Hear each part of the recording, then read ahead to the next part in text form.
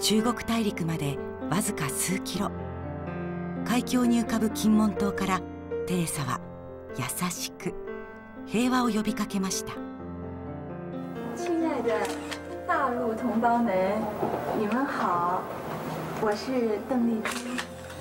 我现在来到金门的广播站，向嗯大陆沿海的同胞们广播。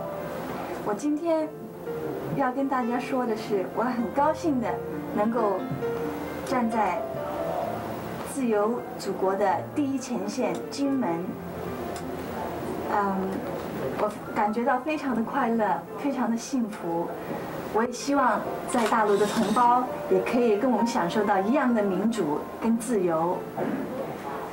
唯有在自由民主辐射的生活环境下。才能拥有实现个人理想的机会，也唯有全体青年都能自由发挥聪明才智，国家的未来才会有充满光明和希望。我希望很快的能够再回到金门，嗯，跟金门的弟兄们见面，当然还有跟大陆沿海的同胞们通话，在这里呢。祝大家身体健康，民主万岁！谢谢。